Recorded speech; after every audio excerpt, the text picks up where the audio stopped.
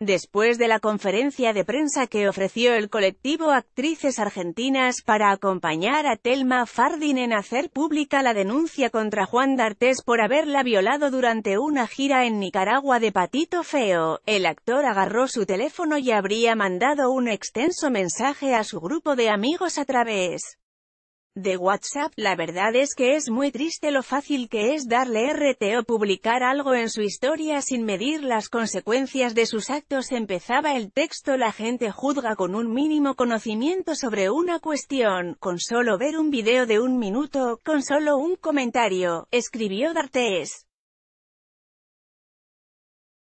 D'Artés se había defendido de la denuncia de Calu en la mesa de Mirta Legrand. El actor continuó negando la acusación, todos buscamos justicia, que se haga el bien social, y lo único que estamos logrando es herir a una persona, arruinar su carrera y separar a su familia. Creo que lo correcto es dejar que la justicia haga su trabajo, que prueba la veracidad o falsedad de los hechos y en base a eso generar un movimiento social. Y no, no es mejor defender a una mentirosa que a un violador.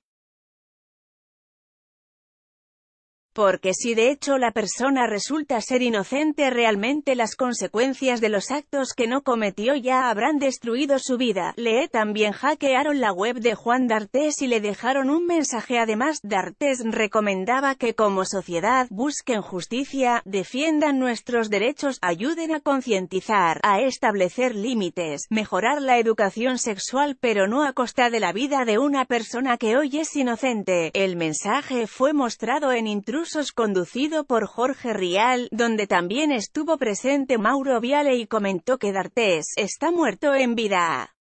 El periodista le hizo una entrevista al denunciado en su casa esta mañana, mientras Calu Rivero estaba en tribunales esperándolo en la audiencia de conciliación. No es verdad lo que se dijo, por Dios. Es una locura, nunca sucedió eso. Por favor esperemos los tiempos de la justicia.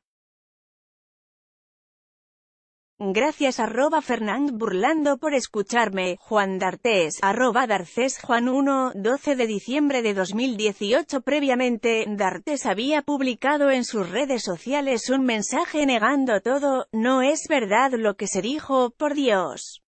Es una locura, nunca sucedió eso. Por favor esperemos los tiempos de la justicia. Gracias Fernando Burlando por escucharme.